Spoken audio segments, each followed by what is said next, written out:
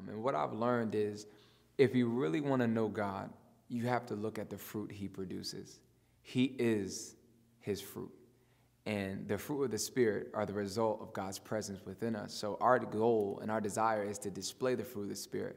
But today, I want to kind of give you a picture into who God is. For those of you like, who is God?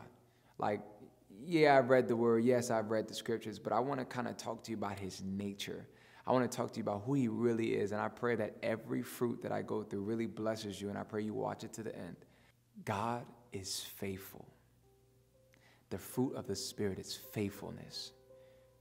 Y'all know there are some people you just cannot trust. There's some people you can't tell everything to. There's some people that may not have your back. There's some people you just can't depend on. It's nothing personal, but you just can't trust them.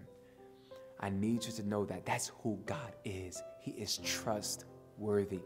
God is worthy of your trust. God is faithfulness. He is faithful. He can't stop being faithful. That's who He is. He doesn't change. The Bible says He's the same today, yesterday, and forever. Do you understand how that changes the dynamic of how you trust God? There's no room for anxiety with God because He has not shown you that He is not trustworthy. God has not shown you that He is not to be trusted. God has only showed you that He is faithful. He will come through for you. You can depend on Him. He is faithfulness. That alone should bring you peace because that's His character. You can depend that God gonna be faithful. God will be faithful. You can trust Him. Tell your anxieties that they're the ones that need to be questions. Your anxiety's lying to you because God is exactly who He says He is, and He is faithful. That's the fruit of who God is.